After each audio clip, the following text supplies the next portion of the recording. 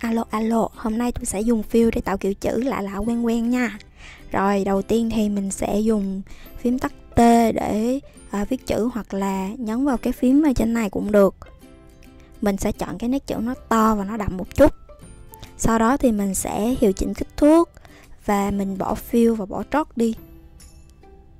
Mình sẽ chỉnh màu sau ha. Sau đó mình vào Windows và chọn cái Appearance lên.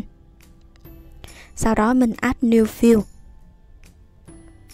rồi trước khi mình chọn cái màu á thì mình sẽ vào cái uh, effect chọn style ra và chọn cái rival là chọn cái dòng cuối cùng nè. Nếu như tôi đọc sai thì mọi người thông cảm nha.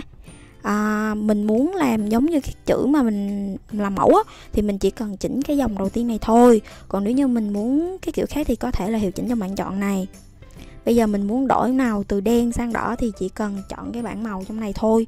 Bây giờ mình muốn trồng một cái màu khác lên thì mình chỉ cần new fill để mà thêm màu thôi. Rồi, sau đó thì hoàn thành rồi đó. Rất đơn giản mà phải không? Trời ơi, mọi người ơi, rất đơn giản luôn. Nên là mọi người cứ từ từ rồi làm nha. Cảm ơn tất cả mọi người đã ủng hộ kênh mình Nhớ. Subscribe kênh youtube và ủng hộ cả kênh tiktok nữa nha.